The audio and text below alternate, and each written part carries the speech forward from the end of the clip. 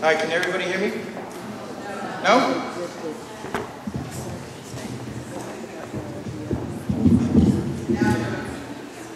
Everybody hear me now?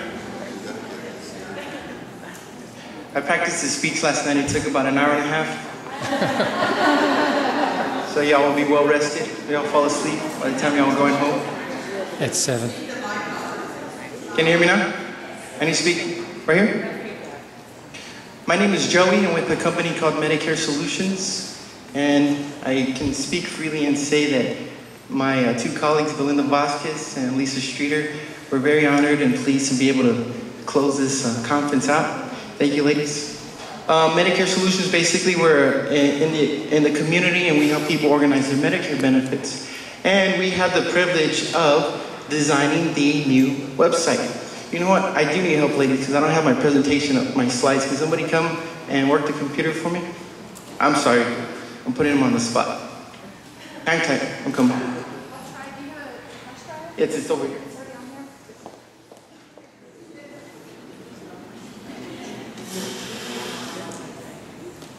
Now you're gonna.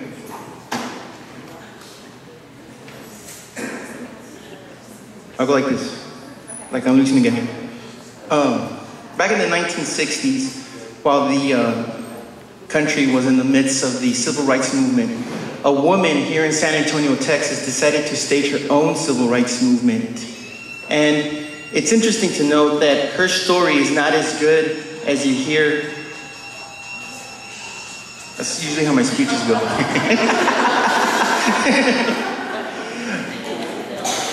I think that was a cumbia. Um, her story wasn't as interesting as that you hear um, like the Martin Luther King, the I Have a Dream speech, or maybe with Cesar Chavez in the Si Se Puede movement. But it's interesting to note that what she decided to do in the civil rights arena affects each and every person in this room. Go ahead, man. Yes. Um, this lady's name was Josefina Urquizo Guajardo, and she's in the upper right-hand corner. She grew up in a little town in the northern part of Mexico called, called Nueva Rosita in the state of Coahuila. And Josefina, she, she was somebody. Growing up, she had a family that was going somewhere. You see, Josefina's dad, he was, he was, he was running for mayor. He wanted to do something for the people that didn't know how to speak out in his community. And he had the attention of the people, he had the attention of the voters, and he had the momentum to win. Josefina was really proud of him as she was growing up. But you see, Josefina's dad, he made a fateful, fateful mistake. He knew that he had to speak the language of the people so that he could get the vote. And he decided to do something one day that he would later regret. You see, when I was taking one of my uh, bicultural bilingual classes, um, early education classes, I had a professor that once told me that if you want to be able to speak to children, if you want to be able to communicate to children, you have to speak their language. Well, what that professor did that one time when I, when I went to class, because I wasn't really good at attending class, um, he did something that, that made an impression on me. And quite literally, he did this. He said, You have to speak the language that kids speak. You have to laugh the way they laugh. You have to do the things they do. And what he did next, it really impressed me.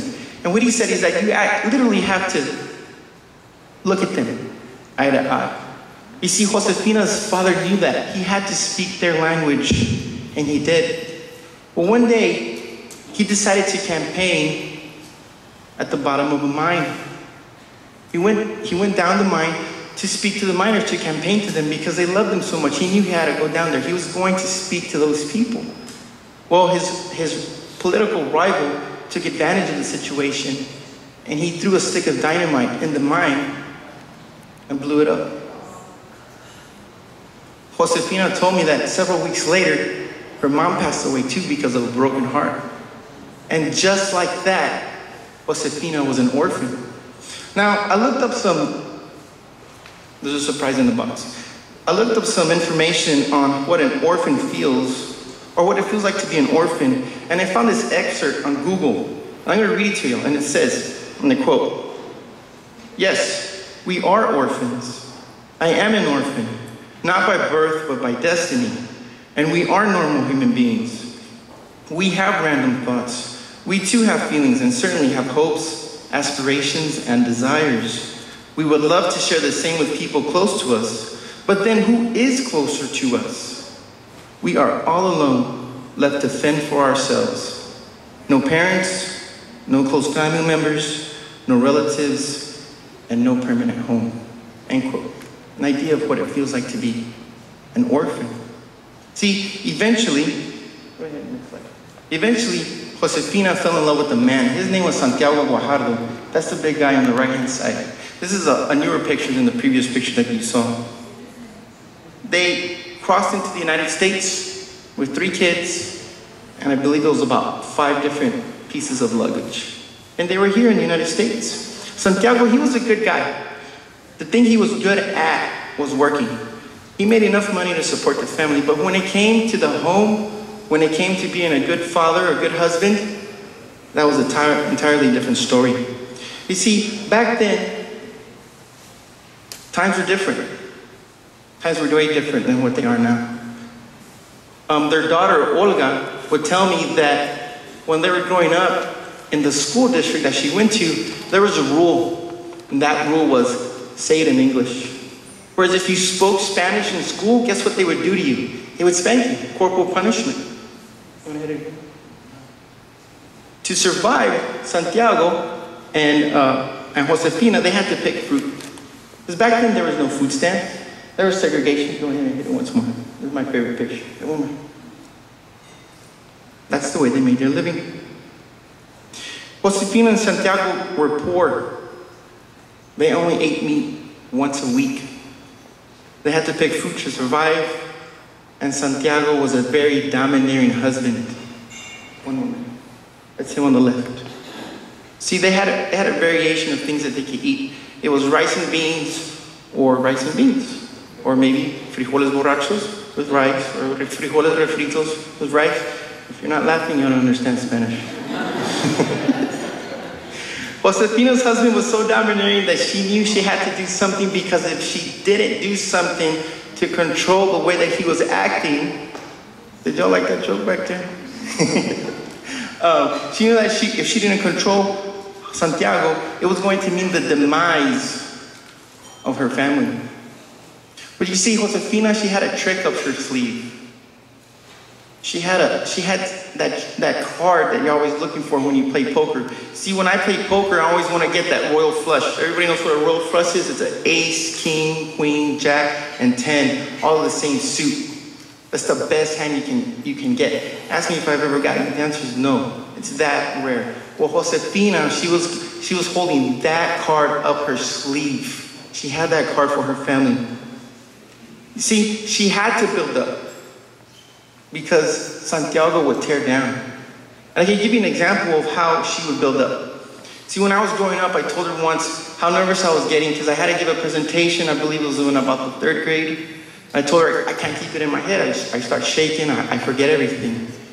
And she gave me some very wise words. She said, Why are you going to get nervous when nobody else in the auditorium is nervous? In fact, I guarantee that everybody's falling asleep. the words that I use today.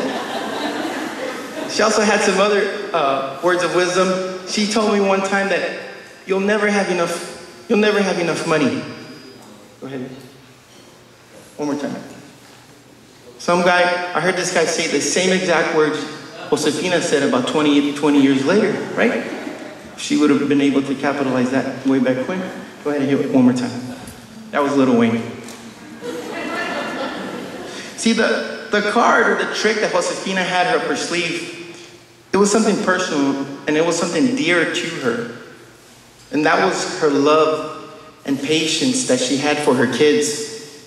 You see, as Santiago would use her as her own punching bag, as his own personal punching bag, she knew that the only thing that stood between him and her kids was her. She knew that love and patience was the key, and she helped out. She built up Jimmy, Mayo, Willen, Yolanda, Olga, Candy. You're going too fast, man. And Hilda. Oh, not that guy. That girl right there. But you see, the abuse, abuse, it got to be really great. The abuse was on a, on a, on a grand scale. And one day, Josefina had to make a decision. It was a hard decision. It was either continue to let Santiago abuse her and beat her up and possibly one day be killed, or handle Santiago and maybe only have to go to jail for a little while. You see, Josefina knew what it was to be an orphan, and she didn't want her children to be orphans like she grew up. Meat at the uh, Guajardo residence was usually only served on Friday. And it was a Tuesday when she decided to kill the chicken, pull out the feathers, right? It was way back then, and cook the meat. And Santiago was, thought she was crazy. Vieja loca. What is she doing? I mean, we only eat meat on Fridays. Well, she was cooking the chicken. The, the kids were still at school. They were almost home. And when the kids got off the bus, this was off of, uh, does everybody know where Old Highway 90 and Commerce meet? Over there on the west side of San Antonio, was around that neighborhood. When the kids got off the bus, they couldn't believe their noses. They couldn't believe it. Chicken on Tuesday? They were getting excited. All seven of them were getting excited. You see, Josefina, she served Santiago with strategy. The stove was here, the table was over here. She served all the kids their favorite piece. Every kid knew what piece of chicken they were going to get. And she served Santiago the best piece of chicken. And she served him that piece of chicken so that he would have his back to her as she cooked. And she served him the chicken, she put it on the table, and Santiago started to eat, and she told him, I'm gonna make you something special. He's like, there's nothing left. I mean, there's the chicken, there's the beans, there's no other money to make anything else special. So Josefina turns on the gas stove, and it was one of those old gas stoves where you could boil a pot of water in like 30 seconds because it got so hot. Everybody knows those stoves that her grandmas used to have. She puts the skillet on the stove, and she gets it hot. And she gets a stick of butter, the Land O'Lakes. That's my favorite butter, and in that rectangle, right? She throws it in the skillet, and she's moving the skillet, and she's moving the skillet. She doesn't want the butter to stick to the pan. She's moving the skillet. She reaches for some garlic. She throws it in there, and everybody knows how good and yummy garlic and butter smell. She had, she had that scent going to their home. And she's waiting. She knows the kids are almost home. She's, she has a strategy, right? And she's moving the pan around, and the pan's getting hot. It's starting to get red. The heat's traveling up the handle. So she has to get a rag to hold, a towel to hold the, the skillet. And it was time. It was time. So no, Lisa Streeter, this is not a Tyler Perry movie. This is a, this is a true story. She lifts up the skillet, and some butter falls on her head, so it burns her. And when she swings at Santiago, the skillet starts to slip out of her hand. She, she has to hit him. She has to. She's already, he's already seen it. Well, fortunately, she, she did hit him, right? He made a big red, she made a big red chicha on the back of his forehead, right? And if you don't know what that means, ask your neighbor. And she dropped the skillet. And Santiago's face landed at the chicken. Anybody that has kids knows that kids are never quiet. Well, all seven kids saw what Josefina did to Santiago. And they were all quiet. Nobody could believe their eyes. And they're, they're looking. Well, Jimmy, the oldest kid, he knew what he, exactly what he had to do. He went for the gun. He knew it. Josefina tells him, Siéntate. Sit down. She told all the kids, Coman. Eat. Anybody that grew up in a, in a Hispanic household knows that an adult never tells a child coman because when you conjugate eat in Spanish, that literally means, literally means please eat. Grandparents always tell grandchildren, or excuse me, always tell their children, comen, eat. the command. She, but she asked him, please eat, come. She told him, no lloren, don't cry. And they all sat around the table. And they cried and they talked to mom about their day. And they knew dad was going to wake up. And eventually Santiago did wake up. And it took him a little while, right? He woke up, he looked around, and he stood up. And we all can imagine that sound that a chair makes, a wooden chair makes on a wooden floor, and it made that sound. And he looked around at all the kids, and all the kids looked at him. Josefina didn't look at him. She just stared straight at the wall. And Santiago lifted up his arm, and she was gonna, he was gonna hit her right in the ear. It was only gonna take one shot. But you see, Josefina built up, and she built up her kids. And that trick, it came out her sleeve. That card came out her sleeve. And when Jimmy, the oldest son, saw Santiago lift up his arm, he jumped on the table and jumped and grabbed Santiago's arm. And that's all that Mayo, his younger brother, needed because Mayo loved to be, he wanted to be a boxer. And he jumped up and started punching Santiago in the stomach. And then here comes Hilda. She bites Santiago in the Achilles tendon. Olga's trying to kick him in the shin. Uh, Yolanda does the best thing that I know today that she can do. And she just yelled. She's yelling. All the kids attack dad because they love mom so much. I know what y'all thinking. What a lovely family, right? What a loving family. But Josefina's trick, it came out her sleeve. And you can see what the family looked like. Go ahead and hit that. Several years later. Go ahead and hit it again. Does everybody remember that uh, restaurant called Karam's? That was there before it closed down. Again, yeah. And one more time. It was back in the day. It was the best, best technology had to offer with that big video camera. I remember Josefina saying that once she was able to do that, it really liberated her. See, Santiago never hit her again because Santiago knew that if he was ever going to be abusive to Josefina, he was going to have to go through seven people to get through her, which was all her kids. She had a team. And Josefina eventually became an advocate. She would go from house to house around the neighborhood telling everybody how she beat up Santiago. And if wives had she was her own task force, right? Wives ever had a uh, problem with their husband, all they had to do was ask her how she did it. And you would hear stories in the neighborhood how a husband would come home, maybe he was a little bit intoxicated, and you'd have a wife hiding in the corner, and when he turned the corner, they'd take care of that. Now, the million dollar question is this What would have happened if Josefina would have never taken that stand against Santiago? Asked differently, where would all of Josefina's children, their great grandchildren, or grandchildren and great grandchildren be today if she would have never, if she would have allowed Santiago to abuse her even more? Two very, very popular questions, or powerful questions. Go ahead and one more time. You see, you don't have to be big to be a hero. And this is how I remember Josefina Guajardo, my grandmother. Five feet tall, with curlies, She had the biggest heart, but when you got out of line, she was to let you know about it. And she was going to put some clamps on you until you adjusted. You see, to be a hero, all you have to do is decide to take action and then take action. And the rest will work itself out.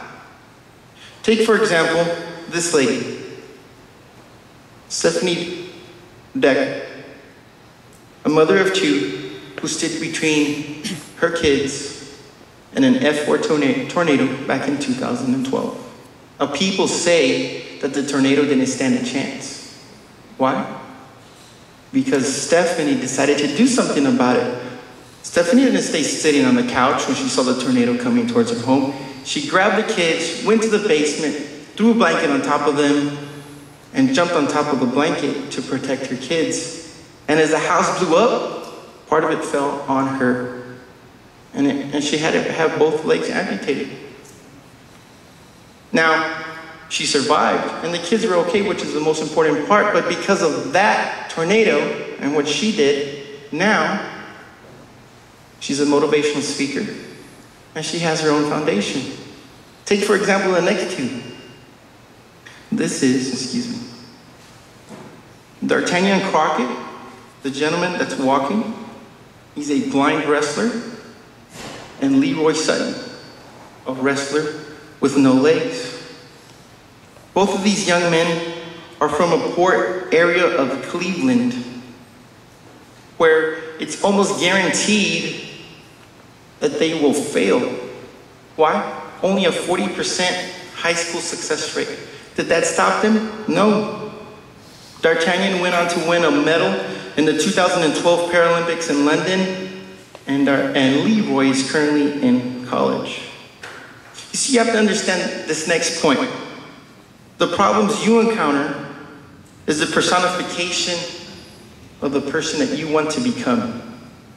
Let me say that again. The problems that you encounter is the personification of the person you want to become. Now, I know you're saying, has he lost his mind? No, not yet. It's still on there.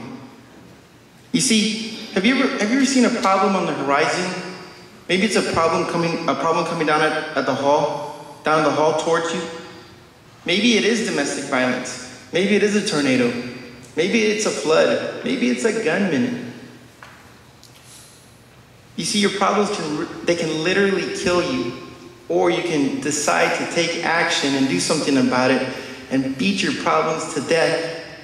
And then you actually take on the qualities of the personification of the problem. For example, have, ever, have any of your problems come towards you wearing a pink dress, maybe two feet tall? None of your problems look easy None of your problems are nice. None of, none of your problems talk to you in a nice manner. They're not sexy. Your problems are mean and nasty. But your, your problem, if you handle it, can become the fuel to propel you to do something great. Just like it happened with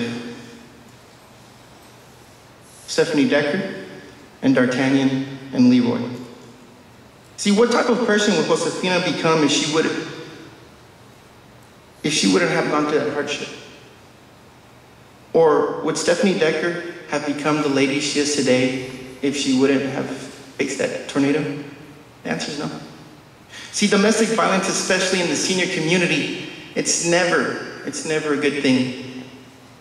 But you, I want everybody to put their hand on their chest. You, you are the, the reason that our seniors succeed. You're the reason. And the task force is the reason. Without the people in this room and without the task force, people might not stand a chance out there, and we know how bad it can get. So, we are very honored to be a part of this organization, and I can speak for Belinda and Lisa. Thank you for this opportunity. So, just as Josefina found a team to help her fight her own domestic abuse, so today our seniors find help with the task force. So, what's the best part of all this long winded story? Is that that guy in the middle, go ahead and click it again, met that woman in the middle. And that little kid came out. That's a big binky. Again. There she is in the hat. Next one. Man, that's a nice tuxedo. And that is the result of what Josefina was able to do when she stood up to Santiago Guajardo. In case you haven't figured it out, it's me. Okay? As we look to help our own fellow seniors, we all, we all now have a trick up our sleeves. And we're pleased to announce this new brand, this brand new website.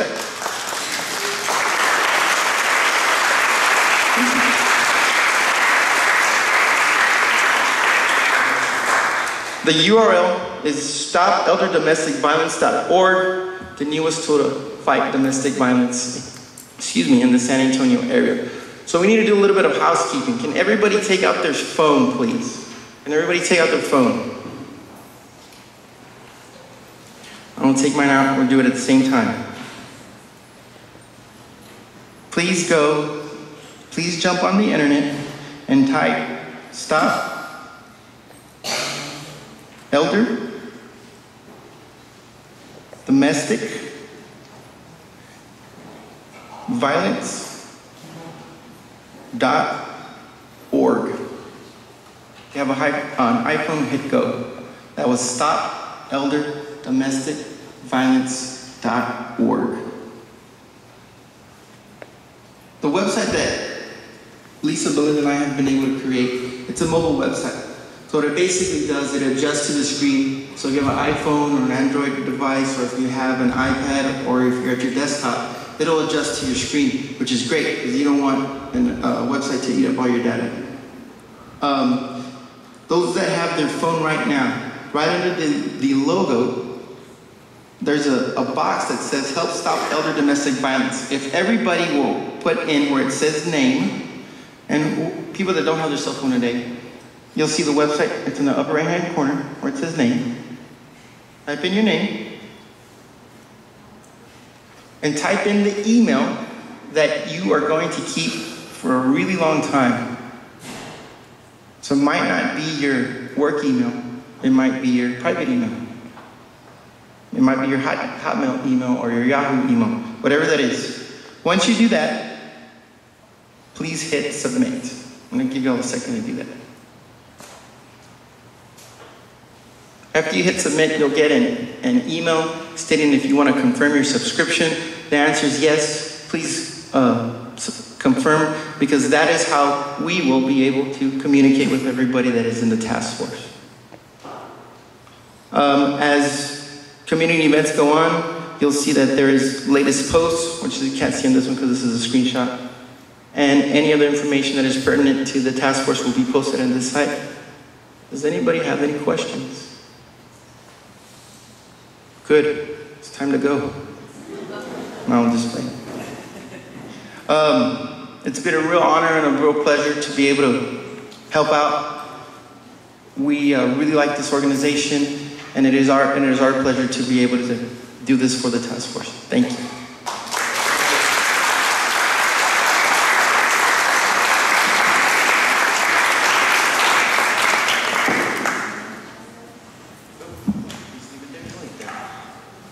Joey said that uh, he's going to be presenting last and he would deliver, and he sure did.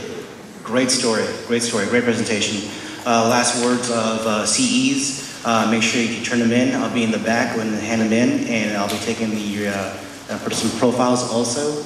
And on the last page of the agenda, at the bottom is my name, number, and email address. If you have any questions regarding CEs, uh, go ahead and uh, email me or contact me, and I will help you out and answer your questions. Also on your, on your table uh, are a couple of handouts for registrations for the uh, Medical Legal Conference on Aging and the Aging Summit that we have uh, coming up on October 10th and 11th. And if you're interested uh, for, or you want some more information, go ahead and contact me or visit our, our uh, website uh, so you can get more information.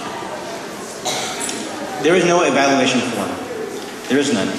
Everything is online. Um, you'll give me the statement of attendance. I will confirm that you attended. I will email you a evaluation. You will complete the evaluation and you will receive your certificate via email. Uh, allow anywhere from uh, two to three weeks for completion. Again, if you have more questions, uh, go ahead and contact me. Thank you, everyone, um, and thank you, everybody, for just uh, uh, hanging in there with us all day long. And, and we love seeing you all every year. We're we're proud of this turnout this year, and hope to see all of y'all again next year.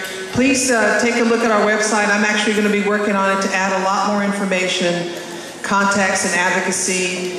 And we hope to build bridges with each and every person that's here. And thank you again for your support. And we couldn't do it without you. Have a great weekend. Just a quick reminder, tomorrow's the Alzheimer's Walk.